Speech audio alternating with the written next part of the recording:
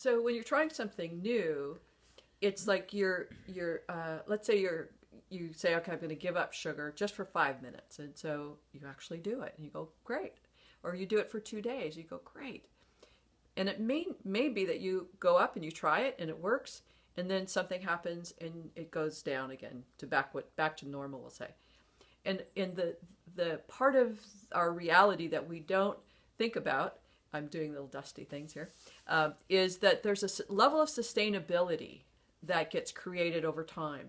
So perhaps you tried, you, you were able to not eat sugar for five minutes and you go, that was great, I did it.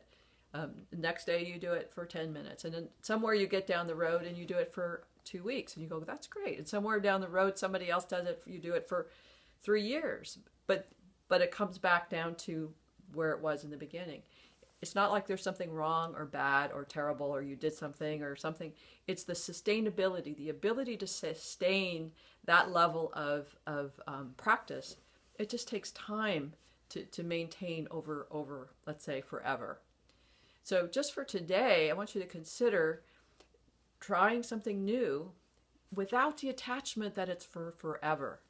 Try the attach, no attachment, just have the experience because it's something new without the attachment that it's going to have you lose weight or become beautiful or something no attachment to the outcome but just do it because hey i'm ready to try it.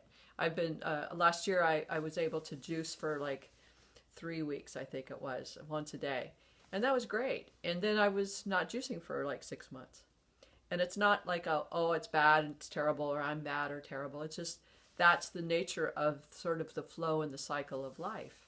So give yourself the practice as it works and don't be attached to the outcome. Just have fun with the experimentation.